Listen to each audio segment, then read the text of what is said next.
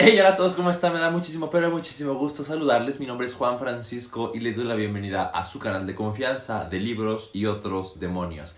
En esta ocasión, un video diferente, un video que piensa resumir eh, todos los libros, todas las lecturas que hice a lo largo de este 2021, pero de una forma divertida. Vamos a jugar a títulos sinceros. Esto consiste en que vamos a cambiarle el nombre a cada uno de los libros que leí durante este año, de forma que puedan ser lo más honestos posibles a lo que trata la historia o a lo que me pareció. Seguramente habrán de haber visto en algún otro canal, mm, sobran las explicaciones, así es que vamos directo con el video.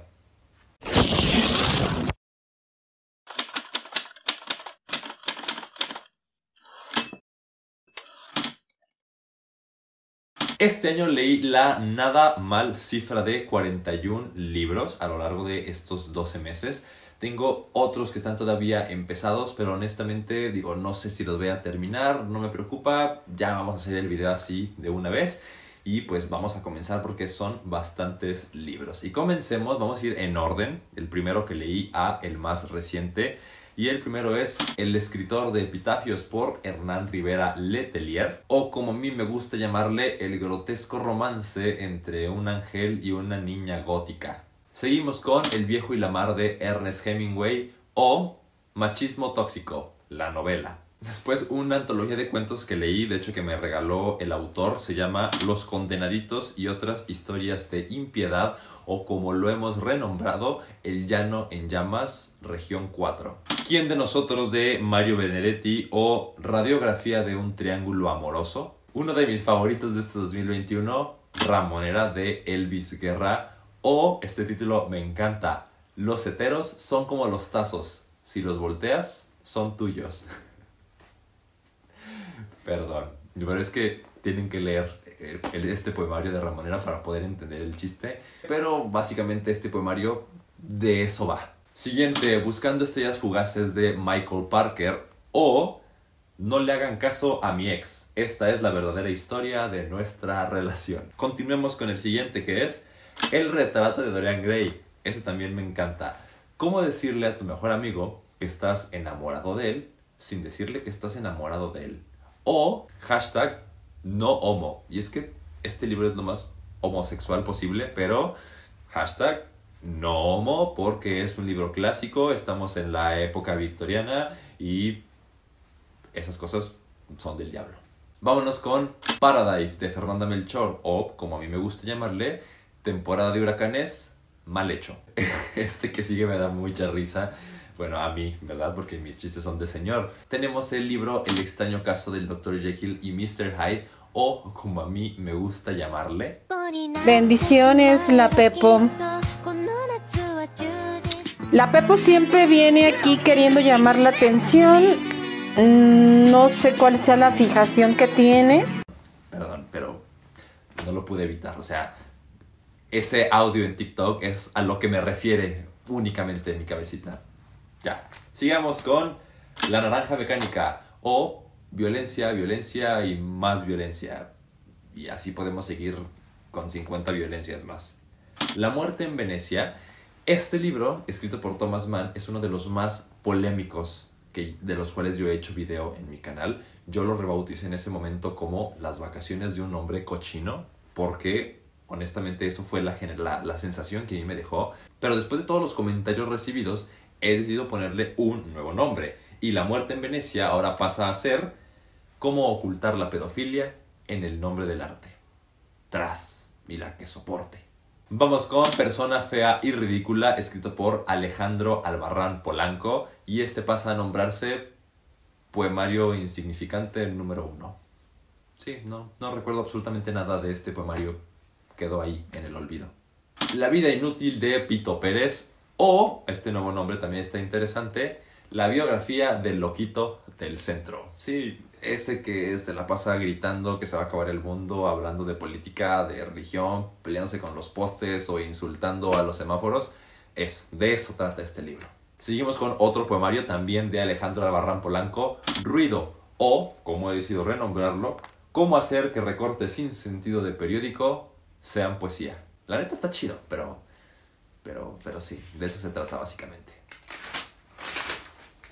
Seguimos con Frankenstein de Mary Shelley o Jugando a ser Dios. Spoiler, sale mal. También tenemos Truco o Trato, historias de Norwalk. Y he decidido renombrarlo como Intento ligarme a mi crush mientras está borracho. Spoiler, nuevamente, también sale mal. Cuando reescribamos la historia por Belén Martínez o Lo que te toca, aunque te quites. Arráncame la vida de Ángeles Mastreta o bien Problemas reales de una señora de las lomas. Este me duele mucho, pero es El amargo final del verano, también Historias de Norwalk, escrito por Javier Martínez. O, por si te olvidaste que Matt estaba muerto, aquí te lo recuerdo. Maldito Javier Martínez, o sea, qué necesidad, qué necesidad. Aquí no es Miami de Fernanda Melchor y efectivamente, aquí no es Miami, es Veracruz y está bien culero. Perdón, pero lo digo por lo que sucede en el libro, ¿eh? Veracruz está muy bonito. Guiño, guiño. El viaje de Marcos, escrito por Oscar Hernández, o, como diría Juan Gabriel, lo que se ve, no se pregunta. Seguimos con Hombres a los que besé, este poemario de Cris Puello, o, mejor conocido como, un libro que te va a poner bien malito de tus ganas. ¿Cómo piensan las piedras? O una antología de cuentos muy random y muy, pero muy aburridos. También tenemos fuera de juego otro spin-off de Aquí y Ahora, también escrito por Javier Martínez, o Hay que flojera ser hetero. ¿Y si joteamos un rato? Una antología de Jaime Torres Bodet titulada Poemas de Amor, o Poemario Insignificante número 2. Sí, también pasó al olvido sin pena ni gloria. Pero uno que no pasó al olvido es Heartstopper, escrito por Alice Ousman, también conocido como el mejor libro gay del mundo.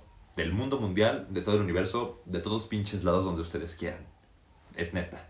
Y quien me alegue lo contrario, nos vemos a la salida. ¿eh? León Kamikaze o No juzgues a un libro por su portada. Caso práctico. Y sí, es que lo que más bonito tiene este libro es su portada y de ahí en más, absolutamente nada más. Como me hice monja de César Aira o bien Nunca se la de pedo a un vendedor de helados. Créeme, nada bueno puede salir de eso.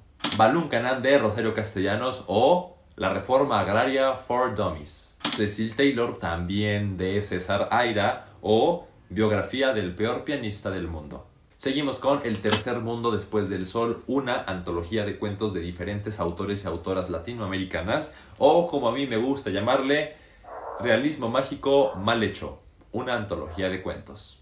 El niño con cuernos de David Herrera o Cómo hablar de la homosexualidad con niños sin hablar de la homosexualidad. Sí, así las cosas. Wayward Son de Rainbow Rowell. Esta es la segunda parte, la continuación de Carry On, esta historia entre Simon y Bass. Y el título que yo pensé para renombrar a este libro es Yo había ponido el mejor romance gay aquí. Y ya no está. Estoy de tu parte también de Javier Martínez, al parecer es el autor más leído a lo largo de este 2021 en este canal y he decidido renombrarlo como Amor en Custodia. Y sí, vayan, vean la novela, lean el libro y después vienen y me alegan todo lo que ustedes quieran. Aristóteles y Dante se sumergen en las aguas del mundo o las flipantes aventuras de un señor misógino y transfóbico. Tras. Los relámpagos de agosto de Jorge Ibargüengoitia o el hombre con más mala suerte del mundo. Las conversaciones también de César Aira o Hablando con la pared. Jugando con fuego, otra novela breve de las historias de Norwalk, también escrito por Javier Martínez. O Es broma, pero si quieres, no es broma. Gay Edition. Y ya por último, fin de año en Nueva York o Cosas que nunca me van a pasar en una relación, parte 24601. Así es, estos fueron los 41 libros que leí a lo largo de este 2021, una cosecha bastante, bastante buena y los títulos más honestos y sinceros que se me ocurrió para describir estas historias. ¿Ustedes respondieron algún otro título? ¿Ustedes tienen alguna mejor idea? Ya saben que los leo con muchísimo gusto en la sección de los comentarios. Y bueno, antes de despedirme, te recuerdo que el próximo domingo 2 de enero del 2022 a las 6 de la tarde, tiempo del centro de México, vamos a tener la entrega de los premios JF a lo mejor y peor de los libros en este 2021. Así es que, ¿cuáles serán los premios o los autores mencionados previamente que serán ganadores a alguno de los reconocimientos? Alguna de las categorías de estos premios JF, descúbrelo muy pero muy pronto. Si quieres ver la lista completa de nominados, vete a la cajita de la descripción. Ahí aparece mi, el link para que te vayas a el Instagram de De Libros y otros demonios. Y ahí vas a encontrar todas las categorías con todos los nominados a cada una de ellas. En fin, ahora sí, me despido de ti agradeciéndote que me hayas visto una semana más. Recuerda darle like al video si te ha gustado, suscribirte al canal si todavía no lo estás y activar la campanita de las notificaciones. Esto es muy pero muy importante para que sepas el momento exacto en el que mi bello rostro sincero estará apareciendo en tus dispositivos. En fin, muchísimas gracias por verme un video más. Yo soy Juan Francisco, esto es de Libros y otros demonios y ya sabes que nos veremos muy pero muy pronto. Adiós.